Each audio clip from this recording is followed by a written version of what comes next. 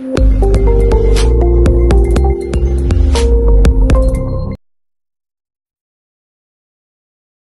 everyone greetings from doctor Rashmi homeopathy आज मैं एक बहुत इंपॉर्टेंट मेडिसिन हेलीबोरस नाइगर के बारे में बात करूँगी।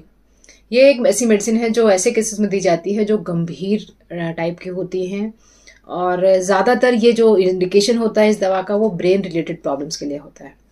तो ऐसे केसेस जहाँ पर ब्रेन रिलेटेड इश्यूज़ हुए हों। जैसे सबसे इंपॉर्टेंट है हाइड्रोसिफिलिस यानी कि सिर में पानी भरना। बहुत ही कॉमनली ये कंडीशन देखी जाती है और ये जो दवा होती है नंबर एक दवा हो जाती है होम्योपैथी की, अगर हम हाइड्रोसिप्लेस की बात करते हैं। जो हेलीबोरस नाइगर होती है, ये बनाया जाता है क्रिसमस रोज जिसका कॉमन नेम होता है उसके रूट से। उसके रूट यानी ड्राइड रूट से इसका मदर टिंचर रेडी किया जाता है और डॉक्टर हरमन ने ही इसको होम्योपैथी में इंट्रोड्यूस किया था। ये जो मेडिसिन होती है, सबसे इसका जो इम्पोर्टेंट एक्शन होता है, वो ब्रेन पर होता है स्पाइनल कॉर्ड पर होता है, पेट पर होता है और यूनरी ब्लैडर पे होता है। तो सबसे इंपॉर्टेंट सिम्टम्स में ये है कि पेशेंट जो होता है, जो बच्चा होता है, ज़्यादातर क्योंकि बच्चों के केसेस में रहती है हाइड्रोसिफ्लिस की प्रॉब्लम तो जो बच्चा होता है, बहुत ही डल रहता है और हर हर वक्त सोया रहता है, कोई उसके रिएक्शंस नहीं होते हैं और जो भी माइलस्टोन्स होते हैं बच्चे के, बहुत डिलेट रहते हैं। चार पाँच केसेस ऐसे अभी तक मैंने देखे हैं जिसमें बच्चा बहुत ही बुरी तरह से अफेक्टेड रहा है हाइड्रोसिफ्लिस से उसके ब्रेन के जो एक्शंस है वो बिल्कुल डेवलप नहीं हो पा रहे हैं और उस केसेस में एलिबोरस ने बहुत अच्छा काम किया है। एक दो केसेस के बारे में इस वीडियो में भी आपको बताऊँगी।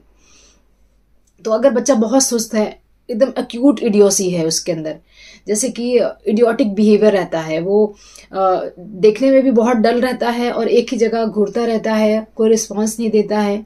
बच्चा बड़े होने के बावजूद, तीन चार महीने, पाँच महीने के बावजूद भी अपने माँ को नहीं पहचान पाता है। या कोई भी ऑब्जेक्ट इधर से उधर मूव कर रही है तो अपने गर्दन को हिला नहीं पाता है, अपनी गर्दन को होल्ड नहीं कर पाता है। तो ऐसे केसेस में हेलीबोरस एक बहुत इंपॉर्टेंट मेडिसिन है। हेलीबोरस ऐसे लोगों को सूट करती है जो लोग चिली होते हैं। ठंड बहुत ज़्यादा लगती है और ठंडी चीज़ें वो बर्दाश्त नहीं कर सकते हैं। और जो बच्चा होता है वो उसको जो सिफिलिस की प्रॉब्लम है, जैसे कि सिर में पानी भरना या मैनजाइटिस की प्रॉब्लम वो सारे केसेस भी होते हैं। जो ये माथा होता है बहुत बाहर की तरफ़ निकला होता है, आँखें भी बाहर की तरफ़ ड्यू टू प्रेशर निकली हुई होती हैं।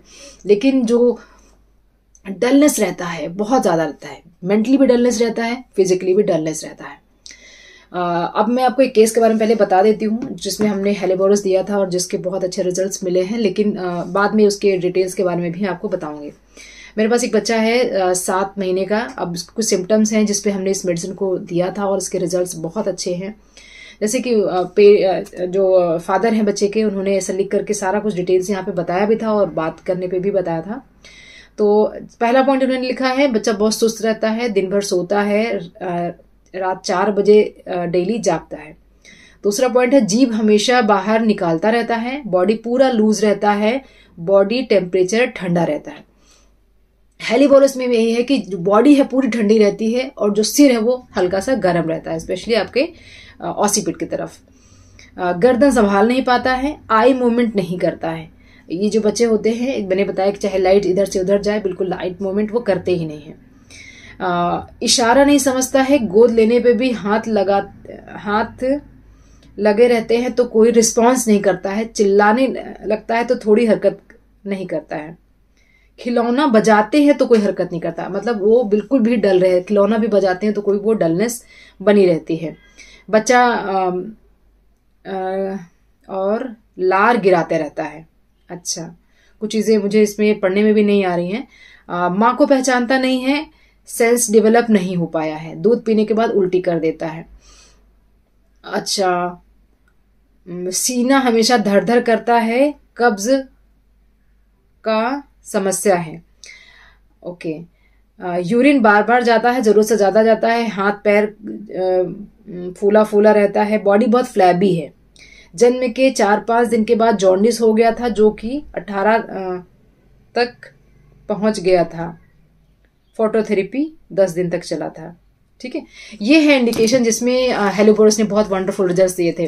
अब देखिए, इनका जो बच्चा है, क्योंकि वीडियो कंसल्टेशन पे पेशेंट से बात हुई थी तो बच्चा है बिल्कुल लेने पे भी कोई उसका, एक बच्चे का एक फीलिंग होती है ना कि हाँ बच्चे का हाथ, पैर, ये सब, उसमें सब कुछ लूज रहता है। जैसे आपने कोई सामान उठाया हो, इस तरह से बच्चा इनका था और इसको हाइड्रोसिपस का केस था, बच्चा हेड नहीं होल्ड करता था और जब हमने वीडियो कंसल्टेशन पे पेशेंट से बात किया तो हमने बोला कि आप बच्चे का पैर के ऊपर रिफ्लेक्सेस चेक करिए प्लांटर रिफ्लेक्सेस इसको बोलते हैं।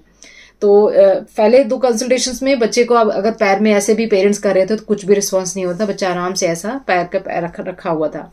जो लास्ट कंसल्टेशन हुई है अभी उसमें जैसे ही इसको छूते हैं तो बच्चा अपने हाथ पैर को खींच लेता है। एक बहुत ही पॉजिटिव रिस्पॉन्स है हेड होल्डिंग उसको आ चुकी है। मदर को भी देख करके अभी स्माइल नहीं आई है, लेकिन मदर को पहचानने लग गया है। काफ़ी हद तक ये डेवलप अभी ये डेवलपमेंट देखी गई है इस पेशेंट के केस में। बाकी चीज़ों के बारे में बात करते हैं कि हेलीबोरस में और क्या देखा जाता है। जो हेलीबोरस है, वो सुपरस है, सोया पड़ा रहता है, उसको कोई भी कंप्लेंट्स नहीं होती है, उसको कुछ नहीं चाहिए होता है। अगर उसको कोई डिस्टर्ब करता है तो उसको बिल्कुल पसंद नहीं है।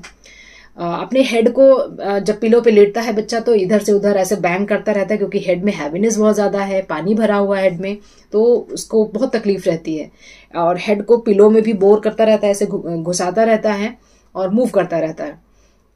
अगर आप खाने पीने के लिए कोई चीज़ देते हैं तो खाने की चीज़ें वो बिल्कुल नहीं ले सकता है। कितनी भी इसका बच्चा हो, जिसको भी हाइड्रोसिफ्लिस होगी, वो खाने पीने की चीज़ों नहीं लेता है।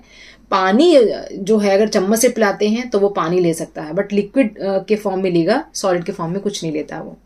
अगर आप पानी पिलाते हैं तो चम्मच को भी मुँह में पकड़ लेता है। और उसके बाद भी वो सो जाता है। हमेशा कॉन्शियसनेस उसमें लॉस्ट रहती है। सुलाने में, जगाने में, खेलने में हमेशा वो सुस्त रहता है। अगर थोड़ा सा बच्चा बड़ा भी है जो रिस्पॉन्स दे सकता है तो रिस्पॉन्स देने के बाद फिर से वो सो जाता है। सो so, अभी हेलोबोरस के केसेस में हम क्या देखते हैं कि इसमें वाइटेलिटी पेशेंट की बिल्कुल नहीं होती बिल्कुल लॉस्ट होती है जिसको हम इम्यूनिटी बोल सकते हैं मॉडर्न लैंग्वेज में। हम होम्योपैथी में इसको वाइटेलिटी बोलते हैं। तो वाइटेलिटी बहुत कम होती है रिस्पॉन्स बहुत कम होता है सेंसेस बहुत ही कम डिवेलप हुए रहते हैं माइल बहुत डिलीड रहते हैं पैरालिटिक सिम्टम्स भी आ सकते हैं और जो आईज है, वो हमेशा बाहर की तरफ़ निकली हुई और भारीपन उनमें लगा रहता है। एक ही चीज़ को लगातार वो देखता रह सकता है। और यूरिन की अगर हम बात करें तो जब बच्चे का डाइपर चेक किया जाता है ऐसे केसेस में, तब वो बिल्कुल कॉफ़ी ग्राउंड टाइप के ग्रेन्यूल्स निकले रहते हैं। कॉफ़ी ग्राउंड मतलब कॉफ़ी के कलर का यूरिन इसमें पास होता है, बहुत ही कम यूरिन इसमें पास होता है। क्योंकि सारा जो बॉडी में है, पानी इकट्ठा हो रहा है। अगर हम डायरिया की बात करें तो इसमें फ्रॉग स्पॉन्ड लाइक डायरिया होता है। जैसे स्लाइमी डायरिया होता है ग्रीनिश कलर का इसमें डायरिया होता है, बच्चों के केसेस में देखा जाता है स्पेशली ड्यूरिंग द डेंटिशन तो अगर दांत निकलने के समय बच्चे के अंदर इस तरह के सिम्टम्स आ रहे हैं एपिलिप्टिक अटैक्स हो रहे हैं कन्वर्जन्स हो रही हैं, तब इस केसेस में हेलीबोरस एक बहुत अच्छी दवा है. हेलीबोरस एक बहुत इंपॉर्टेंट दवा हो जाती है छोटे बच्चों के अंदर हाइड्रोसिफिलस के कारण फिट्स आने के लिए या मिर्गी के दौरे जैसे आने के लिए. तो उस केसेस में भी यही होता है कि अनकॉन्शियस रहता है बच्चा, लार बहुत ज़्यादा निकालता है और उसको दौरे पड़ते हैं, बहुत ही डल रहता है बॉडी भी उसकी बहुत ही ज़्यादा लूज रहती है रिस्पॉन्स नहीं करती है और मेंटली भी बच्चा बहुत ज़्यादा वीक रहता है। एक और इंपॉर्टेंट इंडिकेशन होती है हेलीबोरस की, जिसमें बच्चा जब सोता है, क्योंकि हाइड्रोसेफ्लिक बच्चा है, जब सोता है तो बहुत ही एकदम, बहुत गहरी नींद में सोता है, लेकिन फिर भी उस गहरी नींद में भी उसकी मुँह से आवाज़ निकलती है, जिसको क्राई इंसेफ्लिक बोलते हैं। मतलब बच्चे को पता नहीं लेकिन फिर भी उसके मुँह से श्रीक निकलता है, तेज आवाज़, तीखी आवाज़ निकल सकती है बीमारी के दौरान तो इसको भी एक इंडिकेशन माना जाता है हेलीबोरस का। और हेलीबोरस के केसेस में जो बच्चा होता है यूरिन फ्रीक्वेंटली पास करता है, लेकिन बहुत ही तेज कलर का यूरिन पास करता है।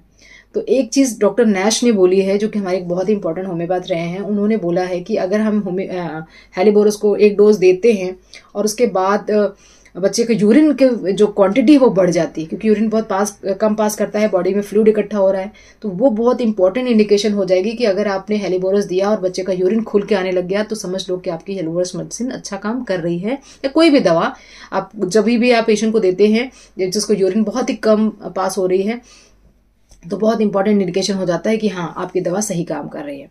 तो specially in case of helleborus अगर ये दवा आप देते हैं और यूरिन खुल के आने लग जाती है मतलब आपकी दवा बिल्कुल सही सिलेक्ट हुई है। तो हेलीबोरस एक ऐसी मेडिसिन है जो कि सीरियस डिसीजेज में दी जाती है छोटी मोटी प्रॉब्लम्स में नहीं, जब ज़्यादातर ब्रेन रिलेटेड प्रॉब्लम्स में दी जाती है। एडियोसिक बहुत ज़्यादा रहती है पेशेंट बहुत ज़्यादा परेशान होता है। फिट्स के केसेस में डेंटिशन यानी दांत निकलने के समय अगर ब्रेन रिलेटेड प्रॉब्लम्स हो रहे हैं, उस केसेस में बच्चा अपने हाथ पैर को चला नहीं पा रहा है मूवमेंट्स नहीं अच्छे से कर पा रहा है हेड होल्डिंग नहीं कर पा रहा है, कुछ खाता पीता है, उसको निकाल देता है तो ये सारे इंडिकेशंस बन जाते हैं हेलीबोरस के। तो अगेन मैंने बताया कि एक सीरियस प्रॉब्लम है। इस दवा को ज़्यादातर कोशिश करें कि डॉक्टर के संपर्क में आकर के ही अपने बच्चे को दिखा करके जिसको भी प्रॉब्लम उसको दिखा करके ही इस दवा को लें। एक बहुत इंपॉर्टेंट दवा है और होम्योपैथी की अर्जेंसी में काम माने लिए एक बहुत अच्छी दवा है। तो अगर हम इसकी पावर की बात करें पोटेंसी की बात करें तो हेलीबोरस को ज़्यादातर हम 200 पावर से स्टार्ट करते हैं। 200 पावर की एक डोज देख करके कुछ समय हम वेट कर सकते हैं। अल्टरनेट डेज़ या वीकली हम वेट कर सकते हैं। उसके बाद जैसे रिस्पॉन्स रहता है, इसकी पावर को बढ़ाया या उतना ही मेंटेन किया जा सकता है।